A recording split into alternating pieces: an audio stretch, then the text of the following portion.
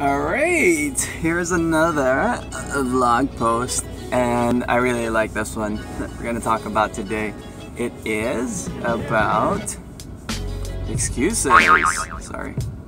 Excuses! Now I hear so many excuses from clients or potential clients or friends basically anyone who knows that I'm personal trainer, oh, I love exercise. I should start working out, but I don't have time. I don't have money. I don't know what to do. Yeah. Sorry, I'm not trying to make fun of anyone here. Actually, I think I am, but I'm just trying to make it uh, humorous here. Okay, I understand your excuses, but that's not a reason. None of that is a reason why you shouldn't be or you can't make time to work out or um, so let's start with the first and most common excuse I hear. I wish I could work out, but I don't have the time. That's bull, right? You gotta know that. We all have the same amount of time in a day. Doesn't matter if you're rich or poor or somewhere in between. We all have the same amount of time in a day. 24 hours in a day, right? Now I can understand if you need to work two or three jobs just to hold down your home, your mortgage, your car payments, that's great.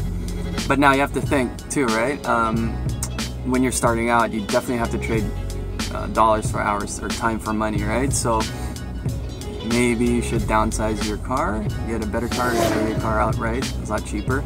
Or maybe you should get a smaller house so you have a, you know, less rent or mortgage things like that or maybe you just should start saving money and stop spending on things that you don't really need right? Um, here's a great example. They say that they don't have time because you know they have to support their lifestyle.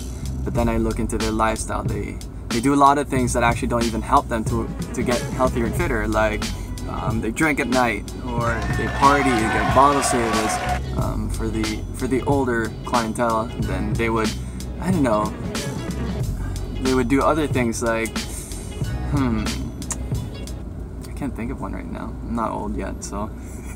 but you get my point, right? So when they say I don't have time, it's a matter of priorities. Like I had a client and she decided not to buy a car, but she decided to, you know, commute to work, take the subway, take the bus, just so that she could afford a personal trainer. And I have to commend her for that. Um, she has her priorities right. She wanted to lose weight, she wanted to get fitter, she wanted to look healthier and feel healthier. That's a great thing. All right? So, um, some people just say, "Oh, I don't," you know, and, you know, I don't have the money to hire a trainer, or I don't have the money to sign up for a gym. But then they spend on alcohol, um, they spend on junk food, they they spend too much time out. So you see what I'm saying here? They're not, they're not, they're not, they're not helping themselves. Like the budget is going towards things that actually slow them down to achieving their fitness goals, right? So sometimes you just have to say that to them, like, look, this is where your money's going, and that's why you don't have the time. All right. So that's one thing there. I don't have the time. We all have the same amount of time in a day. Doesn't matter. Obviously, a rich person has more free time because you know they have people working for them. Um, they can sacrifice um, unless, unless they're uh, assuming that they're an entrepreneur, right? They, they own their own business compared to someone who is not you know, who's employed, they have to work a certain number of hours. They have to work a certain number of hours per week to to support themselves. So yes, that is the only variation that I see. But you can carve out time to do things. So look at your calendar, see what you're doing in a day, see what useless things that you don't see that is necessary, but you don't even realize it, and try to take that off your your daily habits, right? Or weekly habits or whatever, whenever you have free time, I always say put your workouts or meal prepping or you know lifestyle improvement methods that you want to get into into your calendar.